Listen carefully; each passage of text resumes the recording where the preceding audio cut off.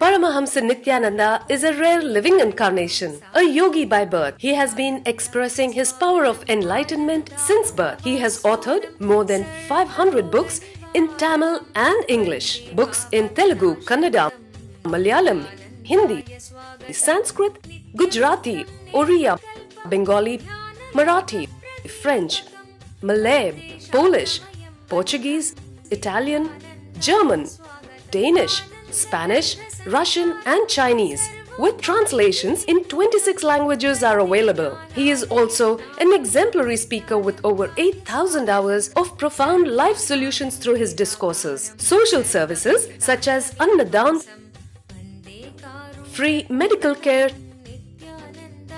free educational services, ashrams, schools, temples, hospitals, established in more than 140 places around the world, offer exceptional services. A powerful spiritual healer who has healed millions of people of diseases from migraine to cancer.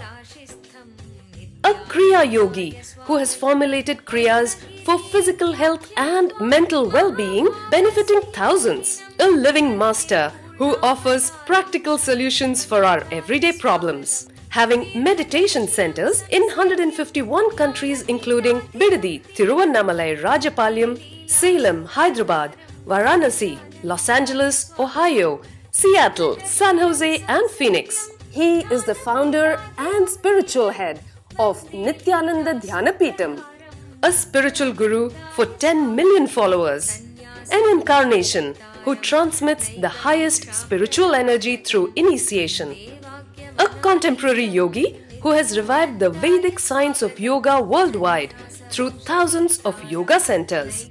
Adept in Ashtamahasiddhis, mystical yogic powers, he has effortlessly awakened the Kundalini of thousands, gracing them with spiritual powers. A spiritual powerhouse who has revived the sacred Vedic tradition by establishing Vedic temples worldwide in places like Los Angeles, San Jose, Seattle, Toronto, Ohio, Oklahoma, Phoenix, St. Louis, Malaysia, Brazil, Paris, Guadeloupe, Dallas, New York, New Jersey, Atlanta, Calgary, Vancouver, Singapore, and places like Bangalore, Hyderabad, and Tiruvannamalai in India. A dynamic young guru who is an inspiration to thousands of youngsters. India's most watched spiritual guru online a beacon of spiritual light who has triumphed over the forces of religious terrorism and political persecution. Paramahamsa Nithyananda is an eternal Kalpataru, blessing the world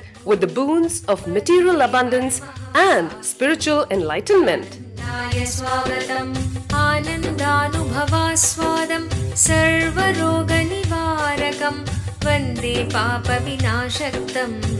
नित्यानन्दाय स्वागतम्। नित्यमुक्तम् निर्विकल्पम् ध्यानलोकप्रदीपकम् वन्दे शान्तमयम् बन्धम्। नित्यानन्दाय स्वागतम्।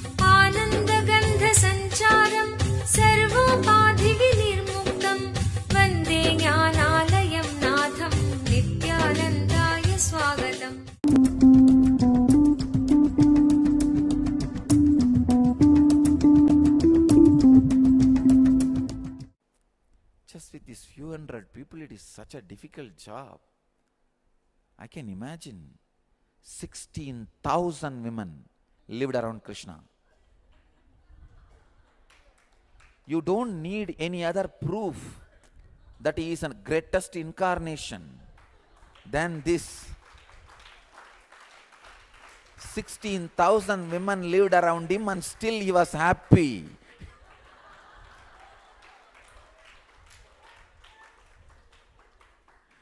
Still he was joyful.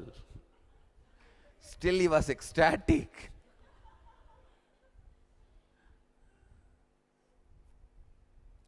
And he was able to make all 16,000 feel that they are loved, that all of them are given is space.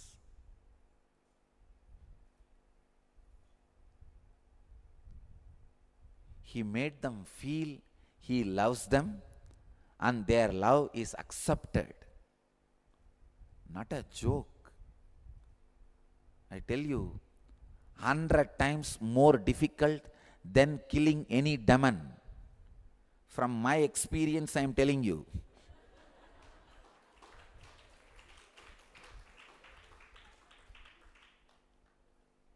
As a latest happening, I describe very clearly about what has happened.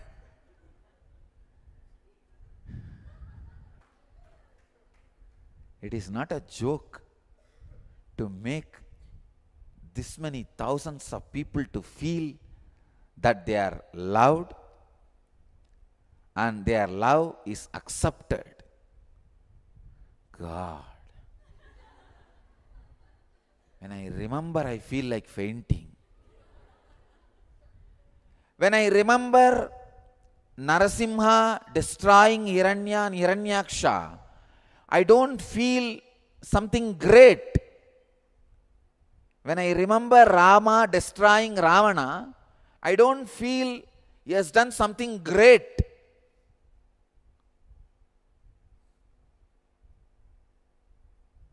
When I remember Krishna killing Kamsa and Shishupala, I don't feel really, really something great. Ah, it's okay.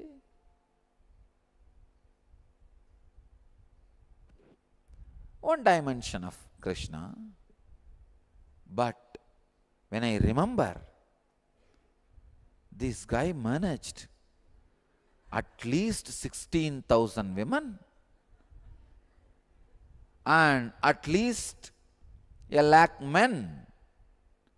Because even though they are not given a prominent place, there were lakhs of gopas, men around him, who enjoyed him, his presence as a friend, as a leader, as a close person to their heart. When I remember, at least a lakh of men and women lived around him, completely satisfied that they are loved and their love was accepted. I tell you, I really feel ah.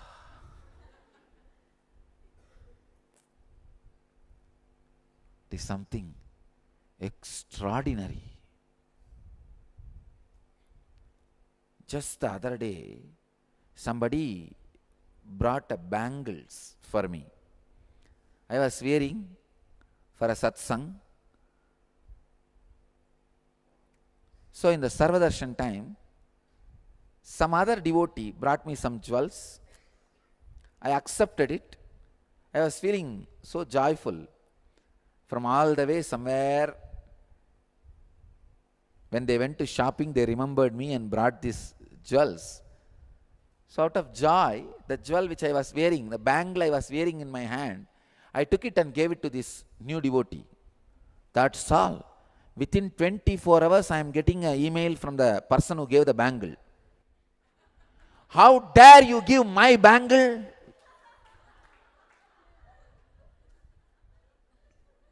I thought, oh God, after you gave that, I thought it has become mine.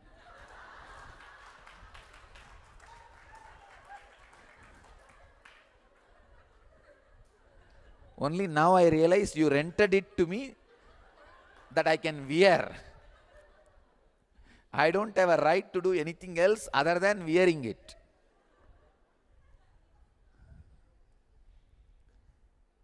Not only they rent the bangle and they try to possess the hand in which it is put, it is wearing.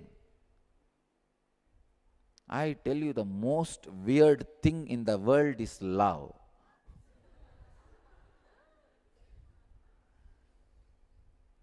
In enmity, everything is very logical, clear. 1 plus 1 is 2. You do this, I will do this, clear.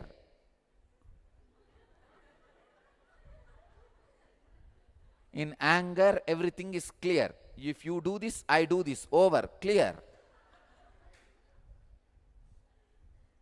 In all emotions, things are very clear. Whether it is a fear or anger, even in lust, things are very clear. What you are going to do next, you know. And the other person also knows. It can just go like a programming. It goes that way only, that's different. So, whether it is a lust or anger or fear or enmity, everything is clear, planned. You know what to do if this is done. You know what not to do if this is not done. But love, oldest, most weird thing.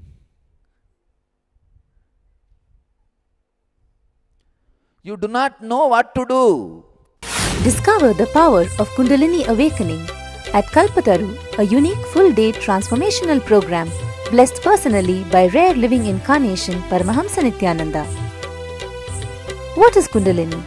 Kundalini is the tremendous potential energy hidden inside every individual, which can be awakened through initiation by an enlightened master. Once awakened, Kundalini has the power to transform every area of your life and bring you health, wealth, success, joyful relationships, and spiritual enlightenment. Harness the power of meditation and initiation. Experience a glimpse of Kundalini awakening at Kalpataru. Manifest your destiny. Every weekend at Nithyananda Dhyanapitham, Nithyananda Nagar, Bidadi, Bengaluru.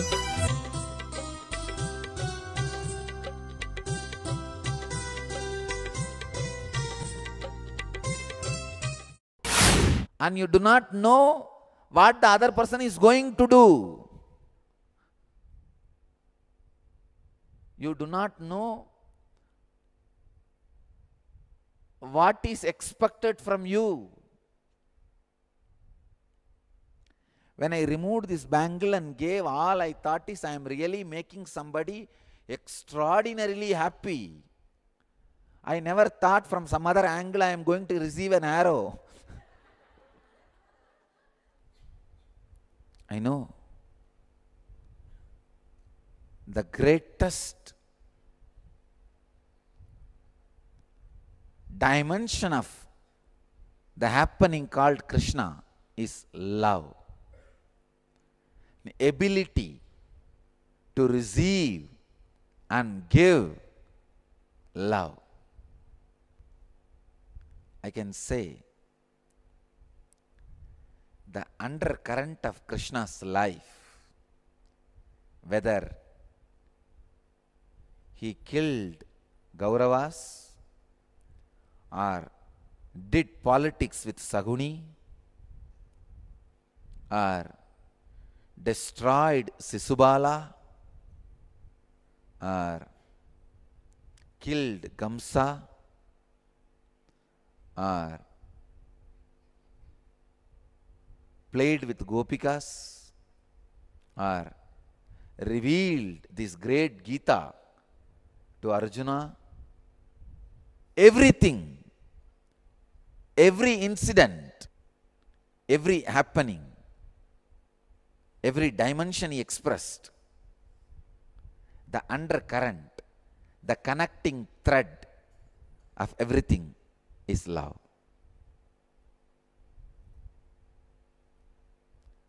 His romance is one expression of his love. His politics is another one expression of his love. His management is another one expression of his love. His anger is another one expression of his love. And his enmity is another one expression of his love. I can say everything he expressed, the base material is love. He is love incarnate.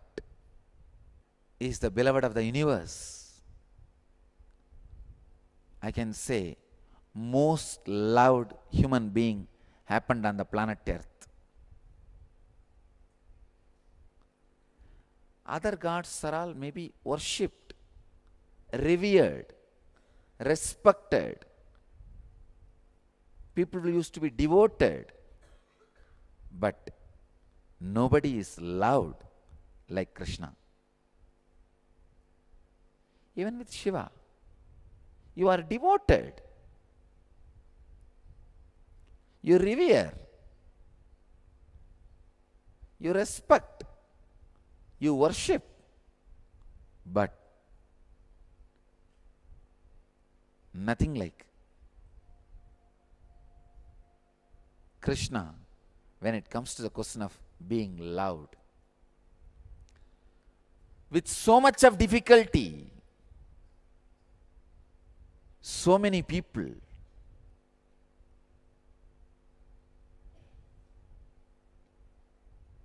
so many people sacrifice so many things for the love of Krishna. From the Gopikas and Gopas.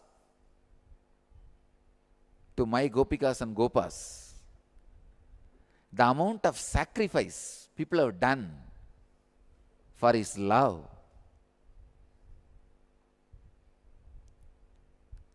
Leaving the brothers, leaving the parents, leaving the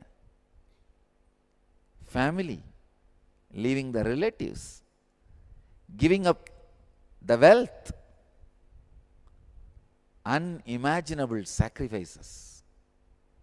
But I tell you, even if you sacrifice your very life,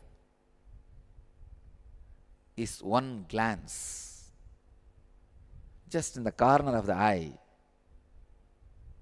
one look is worthy.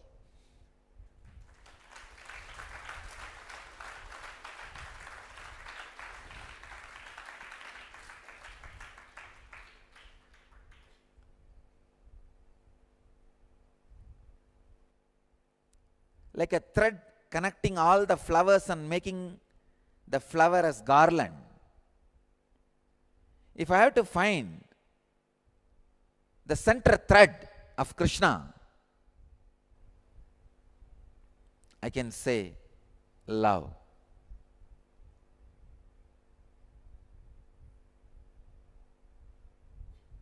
The story goes to say, describes even Saguni, because of constant remembering, unaware way, when he relaxes, used to have a deep, friendly, romantic connection with Krishna. When his logic is alive, active, no. I'll see to it what is done to this fellow. But when his logic is tired, because always the active logic is like a two gears hitting each other without any lubrication. It's like you having the teeth in the stomach and grinding. Drr, drr, para, para. Naturally, the irritation, the friction, you can't maintain yourself in that high friction and irritation for a long time. So you would like to come down from your high horse.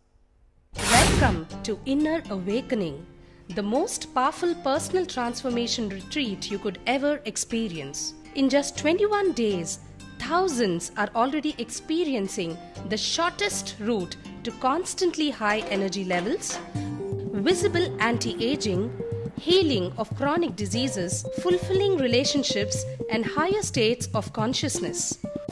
What is the secret behind this transformation?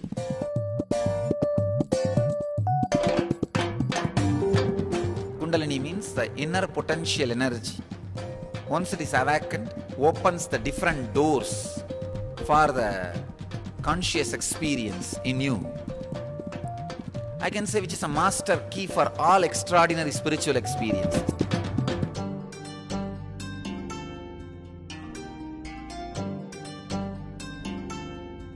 This extraordinary program is conducted personally by Paramahamsa Nithyananda in the vibrant atmosphere of Nithyananda Dhyanapitham Ashram.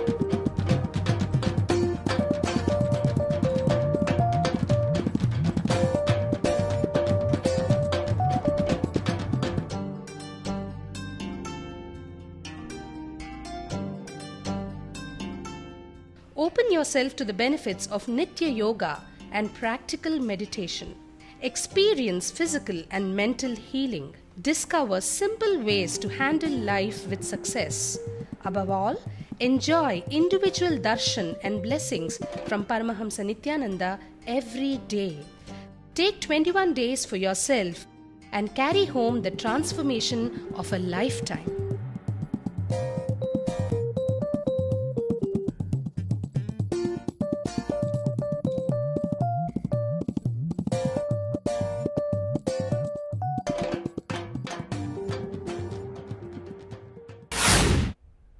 Would like to come down from that continuous irritation.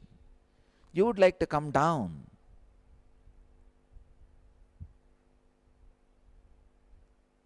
to that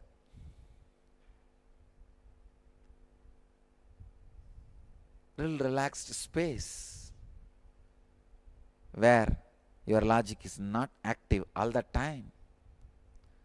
You may just want to rest. Even to sleep, you have to come down from that logic which works like a teeth in the stomach, eating your own intestine. So, whenever Saguni comes down from his self destructive logic, he used to feel a very deep, friendly, romantic connection with Krishna. What a personality! Wow! What a grace! But immediately, the moment he becomes aware, no, what are you thinking? You have to destroy him. You have to fight with him. So he's again back as a Saguni. Understand, Krishna was able to infuse love even in his enemies' hearts. You can't separate Krishna and love. You can't remember Krishna without remembering love. I tell you, if you have tasted the true love, you can't remember love without remembering Krishna. He is symbol of love. Is the brand ambassador for love. Nobody, nobody is able to again sit in his place. The whole Indian psyche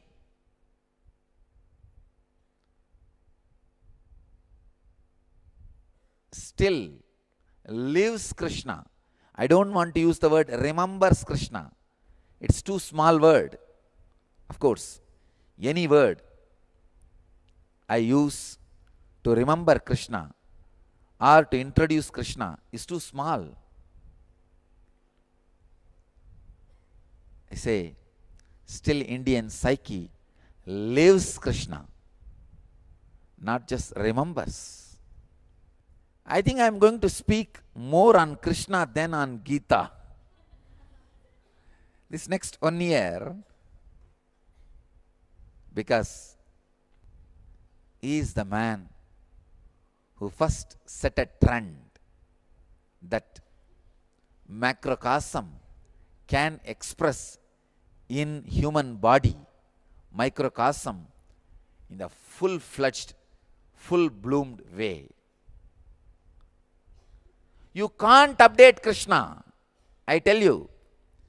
Either you imitate or you just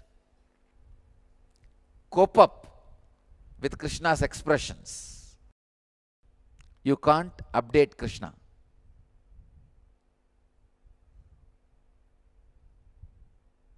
He has not left anything undone. He has not left anything untouched. He has not left anything unexpressed. He has not left anything unexplored. There are records, he even went through cosmetic surgery to satisfy his gopikas and gopas. Means he changed his form for the sake of the people who loved him, just to make them feel that for your love, for the sake of your love, I'll do anything.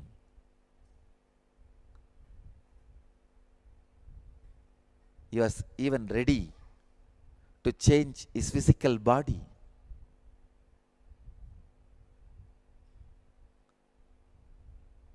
Let me be very honest.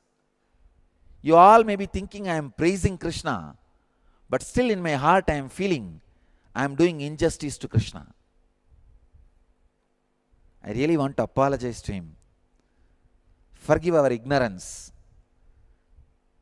O formless, for remembering you in a form. Forgive our ignorance, O nameless, for remembering you some names. Forgive our ignorance, O indescribable, for trying to describe you in few words. Forgive our ignorance, O spaceless, for trying to keep you in small spaces called our heart our temples.